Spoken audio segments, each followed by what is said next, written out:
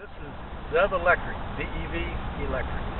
This is our new for 2016 Model T8500. The color on this bike is our new ultra bright white. It's the whitest white we could get anybody to mix for us. This bike was originally designed as a bike for courier and police. It was designed to carry heavy weights so that we can put large objects on the back. Can weigh 200 pounds. Because of this being built to carry heavy loads, the chassis is a bit overdone in that it has not only the conventional twin down tube chassis, but it also has a 3 inch backbone chassis coming through the middle of the bike to make it extremely rigid, proportionally rigid. So that kind of chassis lends itself also to sport bike type driving. One of the features of the Zev is that we run extremely fat tires, where a typical uh, sports bike style motorcycle will carry a front wheel that's a 110 uh, cross section tire. We're a 130 60 13 that means you, we've got a tire with a footprint that's wider than your hand. So with all that rubber on the road, this makes this bike really good to dive into corners and especially for very hard braking. One of the advantages of having a our motor is contained within the rear wheel. There is no motor driving a belt or chain. The motor is in the rear wheel, so the weight of the motor is in the tail of the bike. So on very hard braking, the back end does not want to pick up. It does not want to squash the front end down.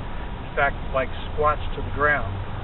So for 2016, to try to exploit these tires a little better, we radically increased the size of the rear brake and we put dual, very large front disc brakes on this bike. This also helps us if we're carrying heavy loads for commercial use or if you have two people and you're in a mountain setting and you don't want to have any brake fade.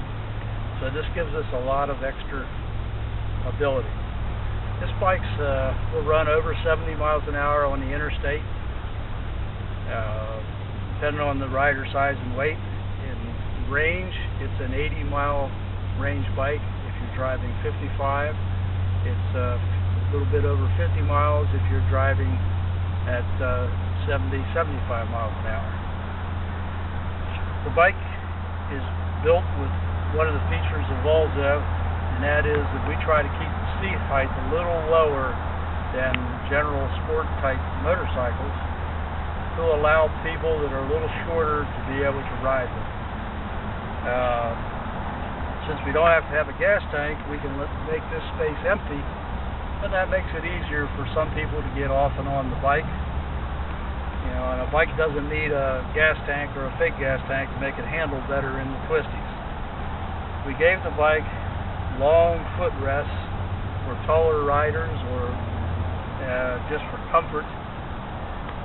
But this bike is made to handle. It's got seat bolster, very low center of gravity. The batteries are mounted very far down in the bike so as again on hard braking, you don't see the reaction that the back end wants to come up and your front end mushing down. The whole bike just squats and those big tires get a grip on the road. Those big brakes can go to work.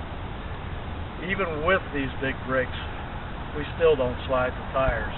The, the, the bike is not sensitive to that.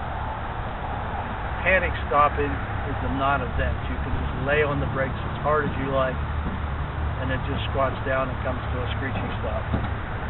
Uh, this bike has two headlights on the front with very bright LED driving lights. It has an option of extremely bright LED lights with close to 2,000 lumens each light available for the bike too.